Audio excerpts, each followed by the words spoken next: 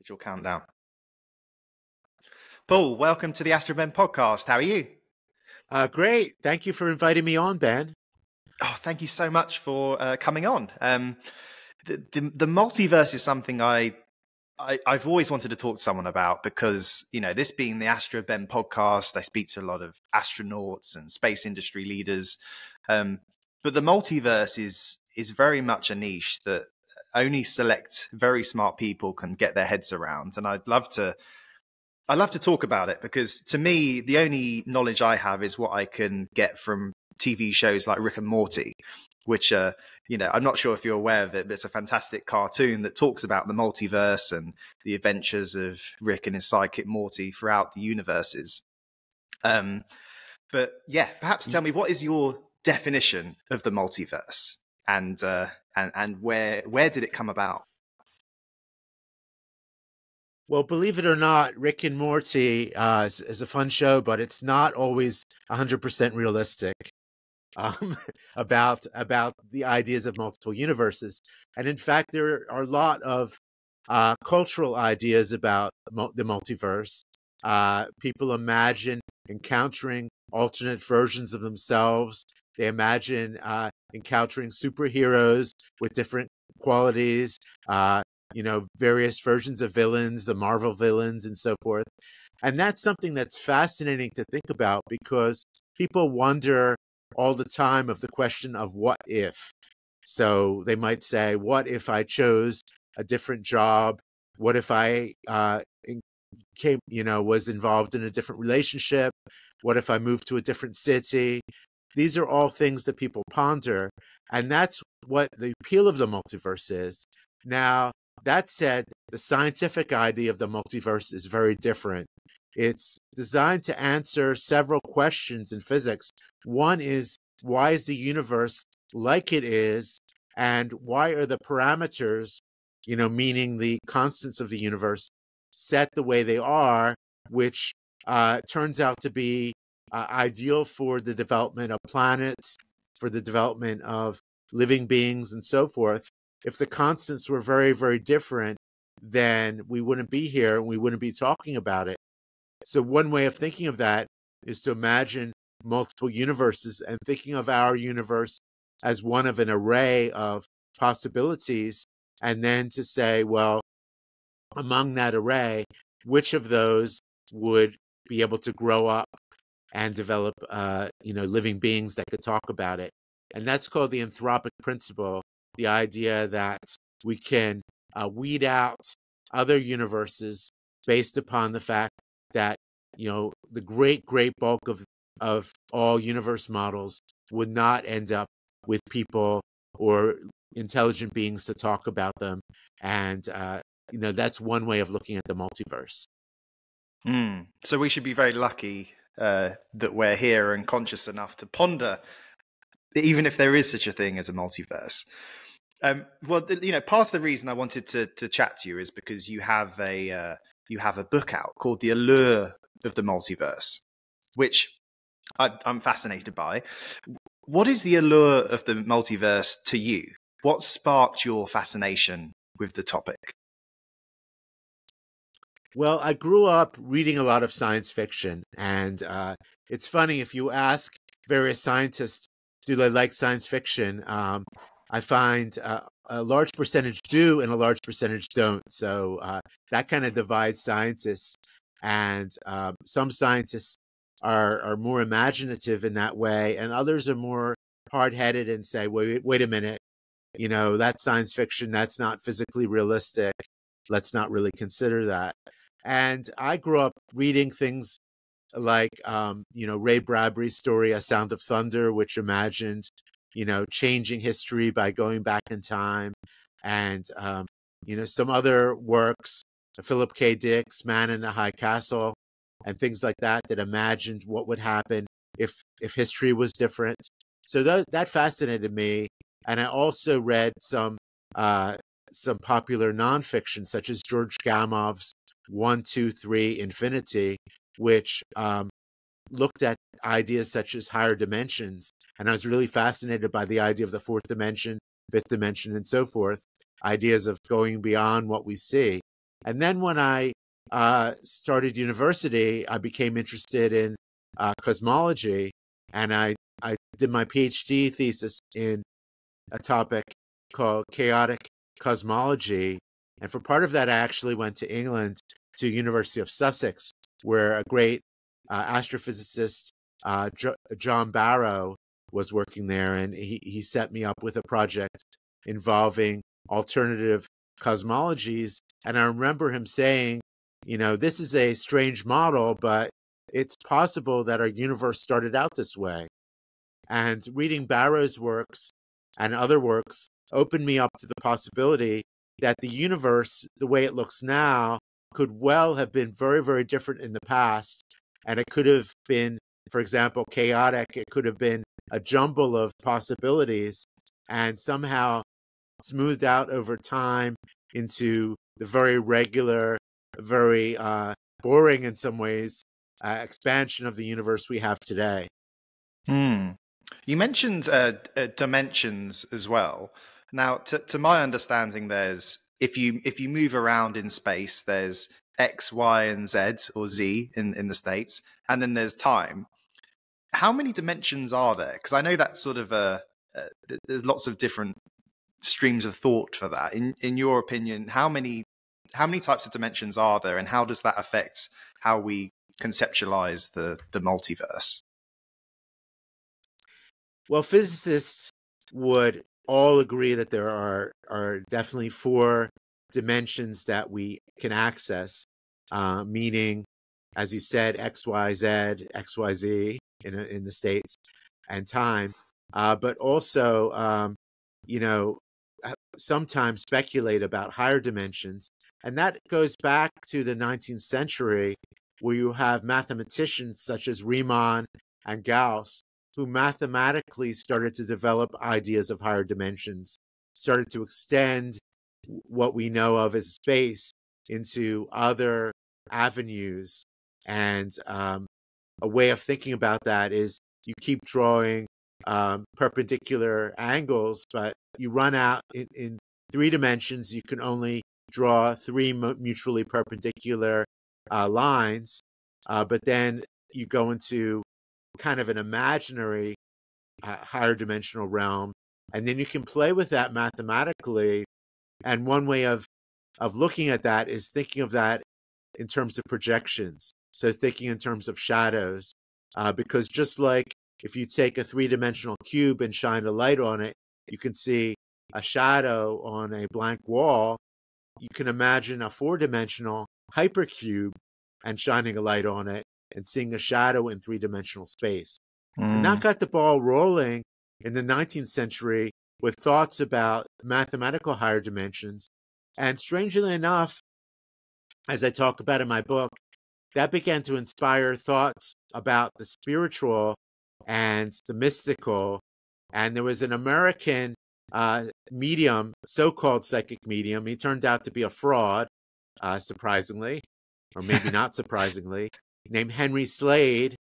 And he went from America to London and would go to Mayfair and other wealthy neighborhoods and find ladies who were uh, grieving the loss of loved ones.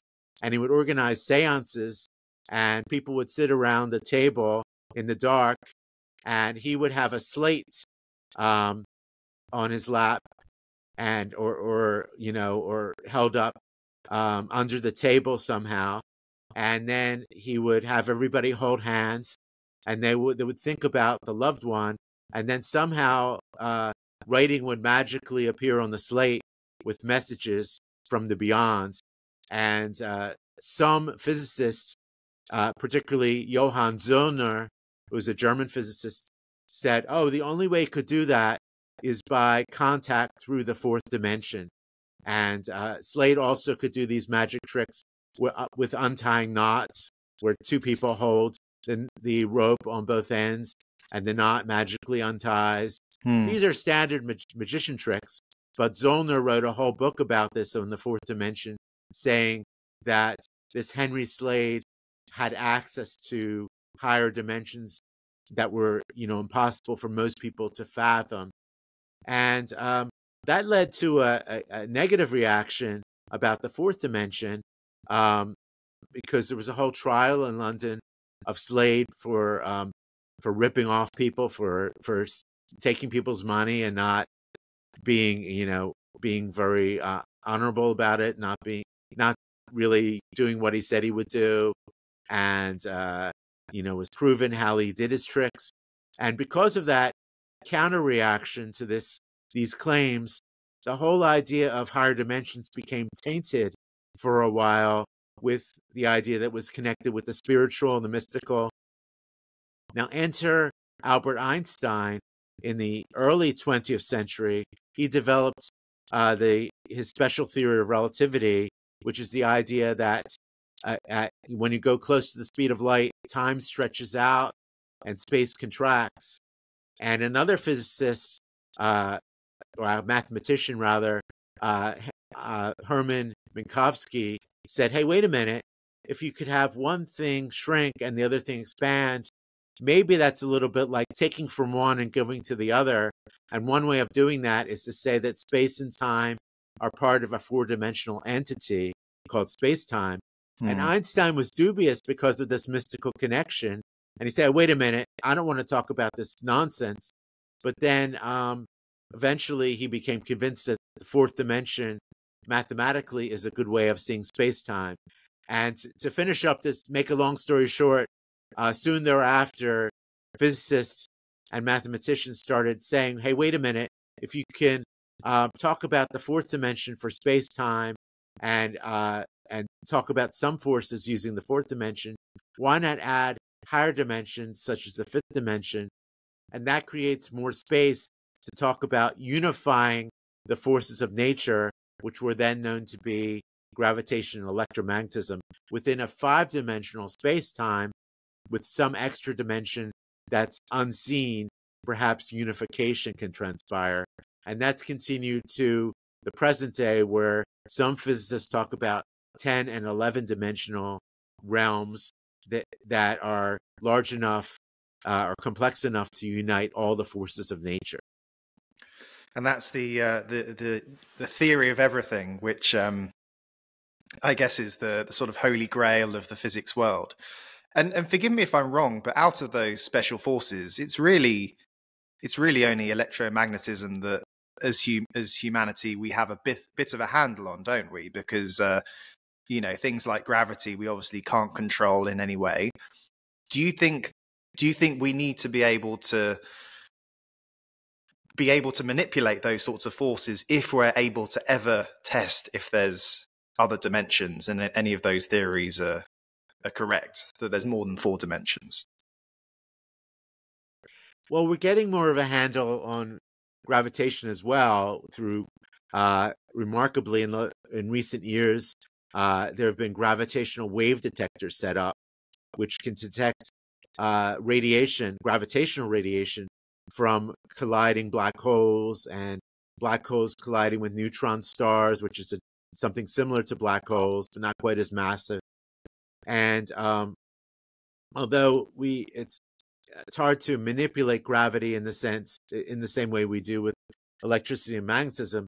We know that by moving masses closer together or farther away from each other, that subtly changes gravitational force. And then the two other forces, the strong force and the weak force, uh, take place in the nuclear level, but we certainly can exploit those. For example, uh, in terms of uh, nuclear um, fission and fusion reactions involve those forces. Radiation involves the weak force uh, because it, it causes uh, particles to um, decay within atomic nuclei. So physicists understand those um, those forces, but the theory of everything would unite them into a single model with a simple set of equations. And so far, there's been more success with electromagnetism, the weak interaction, and the strong interaction, mm. uniting those three. But gravity seems the odd force out that it's hard to unite with the other forces using a quantum framework. It's fascinating. And maybe maybe the advent of AI can help us answer those big questions. Um, just thinking, well, thinking about your book again, there's a few concepts in there that I, I, I don't really understand. Uh, I've made a couple of notes of them. One is the idea of a bouncing universe. So you mentioned that in the book about universes in multiple dimensions bouncing around. Can you elaborate on that concept and, and how that fits in with multiverse theories? Well, the idea of a bouncing universe goes all the way back to the 1920s and 1930s when um, Edwin Hubble, an American um, astronomer, uh, presented data showing that the universe expands. And then around the same time, uh, Georges Lemaitre, who was a Belgian priest and astronomer, came up with the rudiments of what became known as the Big Bang Theory. And uh, that was the idea that the universe was once very small, the observable universe that we see today. So the natural question was what came before the Big Bang? And George Lemaitre's idea was that you had this primordial atom that was uh, everything mushed together, you know, all matter mushed together in a single ball, but a very tiny ball. Um, but uh, but then um, people started talking about a point object, everything coming from a point object, which is now called a singularity. But um, but then if you have a point object, what happened before it? So some models began uh, were developed by various physicists um, to say, well, maybe there are previous eras of the universe. Uh, Richard Tolman, in particular, a Caltech physicist, came up with the oscillatory model of the universe, saying that before the Big Bang, there are previous eras that collapsed, and then you have a collapse before the expansion. And that was reminiscent in some ways of Eastern religious ideas of, of multiple cycles. In Hinduism, for example, mm. uh, talks about the creation and destruction of the universe again and again and again. So it has a kind of appeal. Um, the problem with Tolman's model was that you have an entropy buildup where entropy means disorder with each cycle. So you have all this waste material and it builds up from cycle to cycle, and eventually everything just stops.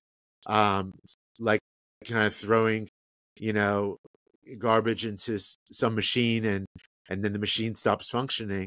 Uh, so um, so that was a problem with that model. But more recent bouncing models, uh, including one proposed by Roger Penrose, who's an Oxford physicist, uh, come up with a way of dealing with that. Penrose's idea brilliantly equates, uh, at least theoretically, uh, brilliantly equates um, entropy with some term, a mathematical term in Einstein's general theory of relativity. And by setting that term to zero, we can um, say that entropy resets with each cycle. So everything sort of starts anew and you can have unlimited cycles. And there's another idea where instead of the things happening in our own universe, you have a kind of multiverse in which you have two hyperplanes. So be imagine something like a sandwich, and the sandwich has some filling inside. So it's a filled sandwich, and um, we live on one slice of bread, and across a higher dimension, an extra dimension, there's another slice of bread, which is another universe that's situated perhaps only a few millimeters from ours across this higher dimension. And then the filling is something which scientists call the bulk. And um, this sandwich uh, collapses periodically. Someone squeezes the two slices together, or some force does, and uh, everything kind of explodes, and that's what the Big Bang is periodic crashes between the two hyperplanes. And um, it, that creates cycles through this periodic e- expansion and contraction along a higher dimension. And that's the, the cyclic cosmology of Paul Steinhardt, Neil Turok, and others. Wow. And uh, the idea of a, a, a sort of parallel universe is there a is there a theoretical way that we or uh, a signal or anything would ever be able to traverse into it? Is it is it a wormhole? Is it through a black hole? Are, are there any theoretical ways that one would be able to traverse into? I mean, obviously, I've seen Interstellar too many times, and uh, you know that, that's that's my assumption of how it would work. But how? What's your thinking around that? Is there is there what are the theories, or what's your theory? Well, there are ways to talk about parallel universes that that do imagine some ways of accessing the other parallel universes. So there are a lot of theories out there. Um, one of them, for example, this uh, idea of the two hyperplanes, which is called uh, uh, not only bouncing universe, sometimes it's called a brane world, B R A N E world, short for membrane. Uh, brane stands for membrane world idea imagines that gravitation leaks from one universe to the other. So you could get theoretically a gravitational signal from another parallel universe. So suddenly you see something that's odd in our universe, but you say, hey, wait a minute, maybe gravity uh, brought that in from another universe. So that's one way. Wormholes are a construct that uh, were, was developed uh, in the 1950s. The the notion was proposed by John Wheeler, um, talking originally about black holes, and um, John Wheeler said, "Well, if you have a black hole, perhaps it opens up a kind of rip in the fabric of our uh, space time, and you it creates a kind of tunnel that connect can connect with either another part of our universe or with another universe altogether. But uh, scientists soon showed that if you have a black hole tunnel, it would be non traversable because once you went in, it would collapse. You would be stretched out like spaghetti. Um, it's called spaghettification. That's a technical term. Uh, stretched in one direction like like spaghetti. yeah, physicists come up with these wild terms for things. Um, and irradiated. So it wouldn't be very pleasant. Um, so uh, and you would end up, you know, being dead in short order. Uh, so that would not be a good way to to cross into another universe. But then Kip Thorne, a theorist, uh, set his his PhD student uh, a project to say, come up with something better. And uh, Morris, Michael Morris, uh, developed this idea of traversable wormholes, which is a way of stabilizing these tunnels using something called exotic matter, which is a negative mass version of matter. Mm. And if you could theoretically construct these, which would require a, a, colossal quantity of mass, something like the size of a galaxy, but if you had access to this, maybe Elon Musk or somebody like that would have access to all this material. Um, uh, I'm joking, of course, it'll be beyond the scope of anyone on this planet uh, imaginable in the foreseeable future. But if somebody could do that, perhaps an alien civilization, um, then you could create these tunnels hmm. that theoretically could access not just other parts of our universe, but hypothetically access other parallel universes.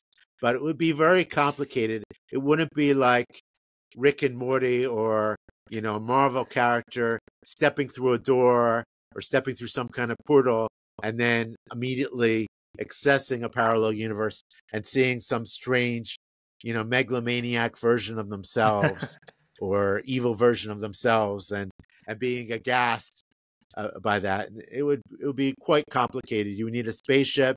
You would need a colossal amount of material or to find something in nature that has that property. And they need to be very, very far away from Earth. Mm. Because if you tried to set something like this up on Earth, it would destroy Earth. So that wouldn't be very nice. Uh, so you would have to go way, way, way out into deep space to find something like this. Wow, that's pretty crazy. You mentioned Marvel. I just assume that your favorite character is Doctor Strange for obvious reasons. Um, another type of universe, you, have got the, the, the brane universe, the bounce universe. Um, you mentioned bubble universes in your book, and that's an intriguing concept. Um, I think I've seen uh, sort of visuals of how that would look, as as you'd assume. It's sort of different universes and different bubbles that don't interact. Um, how, how would these bubble universes interact, and and what implications do they have for our understanding of the cosmos? Yeah, so uh, to clarify, the bubble universes stem from a theory called eternal inflation, developed by Andre Linde and others. And this theory says that it's relatively easy to create a universe. All you need is a certain type of energy field. And we assume that in the er- very early universe, uh, we imagine the time right after the Big Bang that this these energy fields are out there. And if the energy field has just the right properties, then suddenly it triggers ultra rapid expansion of the universe. So you would have this segment of the universe blowing up. And that's just, if you just have one of them, it's called the theory of inflation. Mm. And that makes a lot of sense because our universe today, the observable universe, is very smooth. It looks the same in all directions. And the idea of stretching a sheet very rapidly or blowing up a bubble very rapidly um, creates that kind of essential smoothness that we see today. But the problem with that theory or the opportunity, depending on how you look at it, is that it creates all these other bubble universes out there. So you have this bubble bath and um, all these universes. Some of them are expanding really rapidly, some of them very slowly, and most of them just end up popping or are, you know, contracting or expanding so quickly that no planets, no stars, no planets, nothing that we see today can form. And then there's some that you could call the Goldilocks or just right universes mm. that expand at just the right rate to produce uh, clumping matter that eventually creates stars and planets and so forth.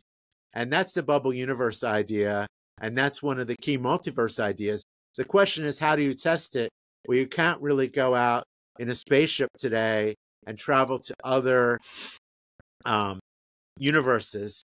Um, it'd just be impossible because of the speed of light limitation. And our universe is expanding very quickly. The other universes will be expanding very quickly.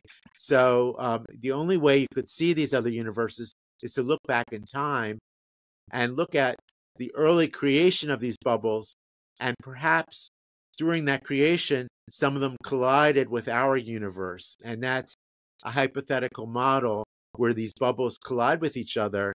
And there are scientists who've been looking at this question, uh, including some from the University of London, looking at the question of scars from the early universe, uh, scars from collisions in the cosmic microwave background, which is the radio hiss left over from the Big Bang. And if you had collisions, you would see scars that would uh, be characteristic of collisions with other universes. They'd be looking a little bit like bullseye targets. And um, we haven't found uh, definitive evidence of these, but scientists are still looking uh, for um, examples of such scars. And that would prove, uh, or at least um, suggest the idea of, of early bubble collisions. Fascinating. You're very good at explaining these very complicated concepts, and that's why I think the uh, the book is so good. And I'll put links in the show notes of how to to to to purchase it because I I think it's a, a lot of people you know love talking about deja vu's and doppelgangers, but don't really look into it further than that. So I think it's great, and thank you for uh, for everything you do in that regard. Uh, thinking about the future of multiverse research, where do you see the future um, heading, and what unanswered questions or mysteries are you personally excited to see? You know, what are we what are we going to see in the next couple of decades in in in respect to multiverse research? Well, there are a lot of key questions in cosmology, and uh, particularly, you know, why the universe is expanding the way it does. And in 1998, two teams of astronomers showed experimentally that not only is the universe expanding, but that, that expansion is uh, increasing over time. So you have this accelerated growth of the universe. And one uh, way of modeling that is something called the cosmological constant, which was introduced by Einstein and later discarded and then reintroduced by physicists in the 1990s as a kind of anti gravity term to explain the um, expansion of the accelerated expansion of the universe. But one mystery is why that term is non zero. So you have this uh, extra force, and sometimes it's also known as dark energy because we don't know what it is. But you have this extra propulsion, which is really, really tiny, just enough to give the universe a bit of a nudge late in its lifetime. So, in the first few billion years of the universe, it really didn't have much of an effect. And it's just starting to kick in right now in the later years of the universe. So, it's really, really subtle. So, the mystery is why you have this subtle extra kick that is that happens later in the life of the universe but in the early universe it wasn't really significant enough to alter our destiny, and planets and stars could easily form through clumping because there was nothing out there to prevent that. But mm. now, as the universe moves forward, it will be harder and harder for gravitation to do this um, because things are getting more and more dilute, more disper- dispersed. And um, scientists have calculated if you look at what's called the vacuum energy of the universe, which is the energy of all the material out there, what this cosmological constant should be, and came up with a whopping value of it. So the question is can scientists develop a theoretical model that explains what, what this dark energy is and what the cosmological constant is and why it's so small but non zero using all the physics around us, observable physics? Or do we have to resort to things like a multiverse by saying, well, maybe we're an odd universe, we're kind of an outlier, and there are all these other universes out there with large cosmological constants, and we just happen to be one with a puny, very, very tiny cosmological constant, but it's small, which is good because that's why we're here today. And that's an argument that's easy to make, but some physicists don't like it because they don't want to talk about non observable things. But other physicists such as I interviewed Jim Peebles, Nobel Prize winner, who was uh, key to some of the theoretical work proving the Big Bang. And he said, well, it might be that we have to kind of swallow our pride and say, hey, wait a minute, even though the scientific method is good, we might have to accept some non observable things just to justify why the observable things we do see are the way they are today. We might have to accept that there's some things that are uh, unknowable just to bolster the structure of the measurable things. Mm. Wow. A lot to think about. And uh, I can't believe it. We've already got through half hour already, which is uh, our normal length of the episode. But look, thank you so much for coming on. Um, I could definitely definitely see uh, not even a parallel universe, but you know, another universe where uh, you know we talk for longer, and uh, you know, I will I will let everyone know how to how to buy your book. But um, it's a fascinating subject, obviously one of the biggest questions that we have, and uh, what a time to be alive. You know, I feel like there are going to be some um, big leaps in science uh, and physics, especially over the next few decades. Yes. Uh, so my book, Allure of the Multiverse, will be available not just in all universes, all potential universes, but also in bookshops everywhere and online. Uh, so uh, it should be widely available, uh, including in the UK as well as other countries. But this has been a real pleasure. Uh, thank you for your fascinating questions, and it's been great being on your show. Paul Halpern, thank you very much. You're very welcome.